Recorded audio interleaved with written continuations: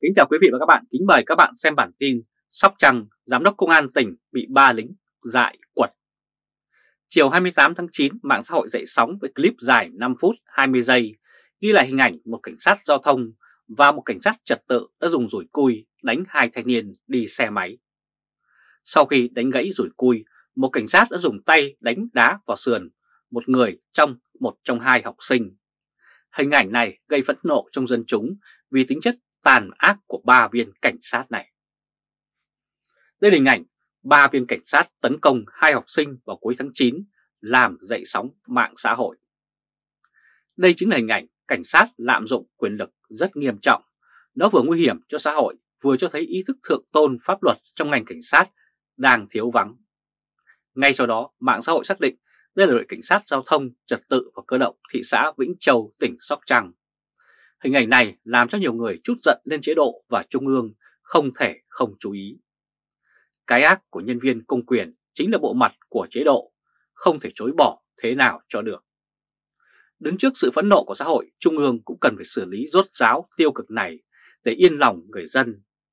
Làm chính trị là phải biết hy sinh thuộc hạ để an lòng dân như Tào Tháo đã từng làm khi kéo quân đánh viên thiệu. Và cho tới ngày nay, hầu hết những người làm chính trị cáo già thường hay làm như thế để cứu lấy cái uy danh của mình. Ông Nguyễn Phú Trọng là người làm chính trị giỏi nhất trong Đảng Cộng sản. Ông không thể không chỉ đạo xử lý vụ này. Giám đốc Công an tỉnh Sóc Trăng chính là Đại tá Lâm Thành Dô. Lẽ ra ông Dô cần phải mạnh tay xử lý ba thuộc hạ làm chuyện dạy dột kia. Sai phạm của ông Dô không chỉ ở vị trí Giám đốc Công an tỉnh Sóc Trăng mà ông sai từ thời ông làm Phó Giám đốc Công an tỉnh An Giang. Tuy nhiên, nếu ông Lâm Thành Dô biết xử lý mạnh những thuộc hạ dại dột đánh người kia thì có lẽ Trung ương đã xem xét lại. Hiện nay, ông Tô Lâm đang cần rất thêm rất nhiều dũng tướng như ông Đinh Văn Nơi để thực hiện những vụ án lớn. Ông Lâm Thành Dô đã không nhìn ra và đã xử lý rất nhẹ ba cảnh sát làm mất mặt chế độ.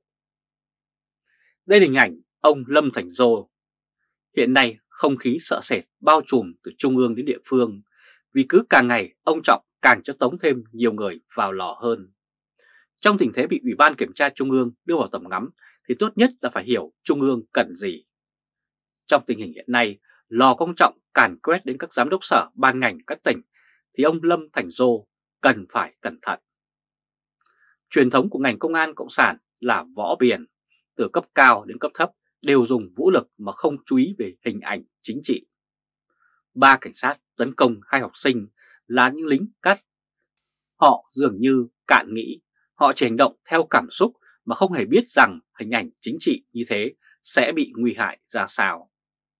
Nếu là những hình ảnh không làm dậy sóng xã hội thì với vai trò người đứng đầu ngành công an của tỉnh, ông Lâm Thành Dô có thể bao che cho lính.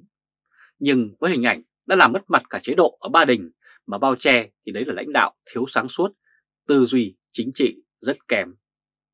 Sau chuyến đi Trung Quốc về, ông Trọng đã cho thổi bùng rất nhiều vụ án lớn. Trước khi đi Trung Quốc, tỉnh Đồng Nai và thành phố Hồ Chí Minh đã bị đưa vào tầm ngắm. Thành phố Hồ Chí Minh có vụ Vạn Thịnh Phát và nhiều vụ án. Đồng Nai có vụ IEC của bà Nguyễn Thị Thanh Nhàn. Đã có hàng loạt quan chức tỉnh Đồng Nai đã phải vào tù và khu vực miền Tây là nơi mà Nguyễn Phú Trọng sẽ nhắm đến. Tuy nhiên, có vẻ như nhiều quan chức ở khu vực này vẫn chưa ý thức được mức độ nguy hiểm và Trung ương đang nhắm vào chính họ. Đây là hình ảnh ông Nguyễn Phú Trọng đang cho bão lớn can quét qua miền Tây Nam Bộ. Vào ngày 4 tháng 11 tại kỳ họp thứ 22 vừa diễn ra, Ủy ban Kiểm tra Trung ương ông Nguyễn Phú Trọng đã cho Ủy ban này đánh về miền Tây Nam Bộ với hàng loạt quan chức cấp tỉnh bị kỷ luật. Trong đó có ông Lâm Thành Dô. Ông Dô bị kỷ luật là do ông, chính ông, vụ ba lính lát đã làm dại kia chỉ là giọt nước làm tràn ly mà thôi.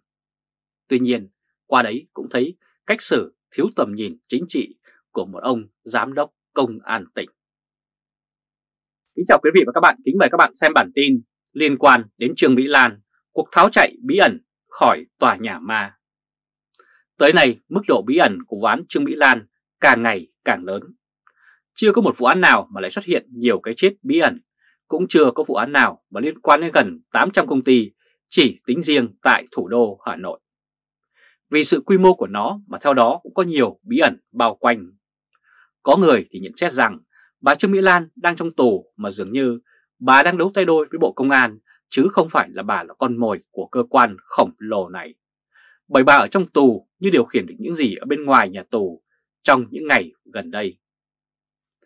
Đây là hình ảnh tòa nhà Ma One Top được Villa Land vào hồi giờ sinh ra đã sắp hóa ma. Hiện nay Bộ Công an đang xác định 14 bị can cá nhân liên quan đến vụ án. Trương Mỹ Lan 66 tuổi, Trương Huệ Vân 37 tuổi, Hồ Biểu Phượng 50 tuổi, Chu Lập Cơ 66 tuổi, chồng bà Trương Mỹ Lan, Chu Diệt Hằng 28 tuổi, Chu Diệt Phấn 27 tuổi, Trương Lập Hưng 36 tuổi, Thái Thị Thanh Thảo 39 tuổi, Ngô Thành Nhã 66 tuổi.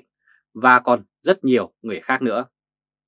Tất cả 12 người nêu trên đều có hộ khẩu thường trú tại thành phố Hồ Chí Minh. Ngoài ra còn có hai người quốc tịch nước ngoài là Knou Hackman, Oliver 68 tuổi, quốc tịch Úc và Trương Vincent King, tên gọi khác là Lâm Khắc Việt, 48 tuổi, quốc tịch Mỹ. Ngoài Trương Mỹ Lan, Trương Huệ Vân và Hồ Biểu Phương đã bị bắt thì 11 người còn lại đều là những cá nhân thuộc diện theo dõi. Những người này được theo dõi đặc biệt và sẽ bị bắt nếu cần. Đấy chỉ là những cái tên liên quan đến tập đoàn Vạn Thịnh Phát.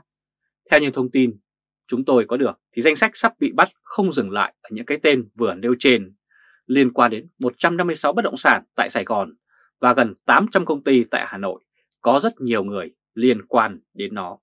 Với vụ án Vạn Thịnh Phát, phía bảo vệ cho bà Trương Mỹ Lan dường như đã đánh hơi trước những gì Bộ Công an Việt Nam sắp làm. Những cái chết đầy bí ẩn làm cho Bộ Công an gặp khó khăn trong vấn đề điều tra, làm cho người ta nghi ngờ rằng phe bảo vệ bà Trương Mỹ Lan có tay trong nên nắm được những định hướng điều tra của Bộ Công an và đã ra tay trước.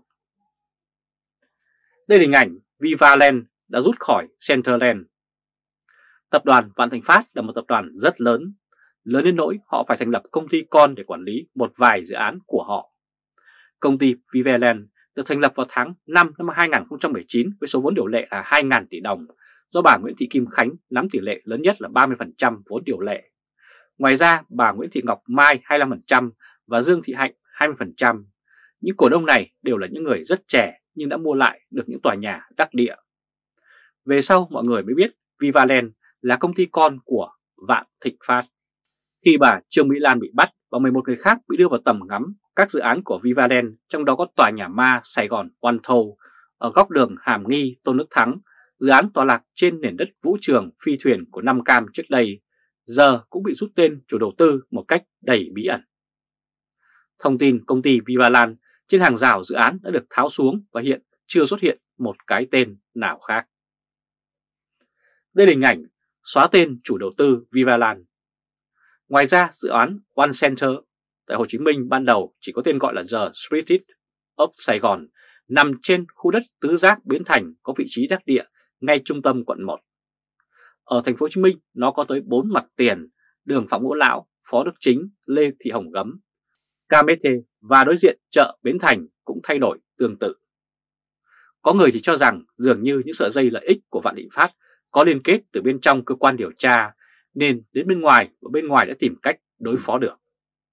Liên quan đến Vạn Thịnh Phát là những cái chết rất bí ẩn và giờ đây sự rút lui bí ẩn của các dự án và những người điều hành của nó. Chúng ta hãy cùng chờ xem những điều bất ngờ gì sẽ diễn ra ở phía trước.